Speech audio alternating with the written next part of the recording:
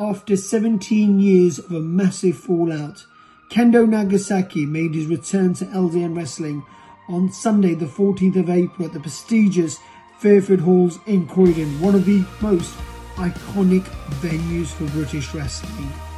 Now, many of you are wondering why I never appeared on the show.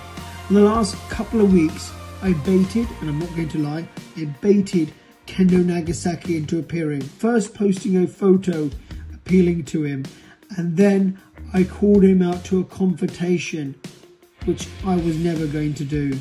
This was all about a bit of revenge because I wanted Kendo to appear on my show after saying he would never step foot in the LDN wrestling ring. Well, he did, and I got him there, and I had a sellout crowd.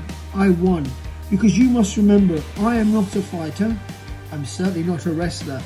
What I am is a businessman and a promoter and what I wanted was to Kendo to appear and for me to have a packed house, which I did, a sellout a week in advance.